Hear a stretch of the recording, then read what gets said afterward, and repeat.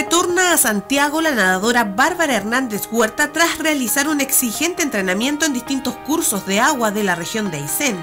El río Báquer, la laguna del glaciar Cayuqueo y el lago O'Higgins fueron algunos de los cauces donde esta deportista potenció su preparación cuya meta es llegar al Mundial de Natación en aguas abiertas que se disputará en marzo de 2016 en Rusia, específicamente en Siberia. En conversación con nuestro canal, contó detalles de su experiencia en la zona sur de Aysén y el tremendo respaldo y cariño que se lleva de este territorio. Bueno, haber estado acá en la región fue una experiencia única, realmente estoy súper contenta eh, como de haber podido entrenarme acá y, de haber podido nadar en cuatro glaciares eh, y haber podido cruzar dos veces el Báquer. Yo creo que, o sea, de hecho nunca nadie había hecho algo así, menos una mujer, entonces como que uno se va igual con el corazón llenito y sobre todo con el cariño de la gente, que al final es lo más importante. Y bueno, y ahora con miras al Mundial en Rusia, que es en marzo del 2016, a jugármela con todo, eh, ahora con los entrenamientos en piscina para irme más rápida, pero la parte más difícil, más difícil que el frío y todo eso, eh, es finalmente poder contar con los apoyos necesarios para poder realizar este viaje y esta competencia.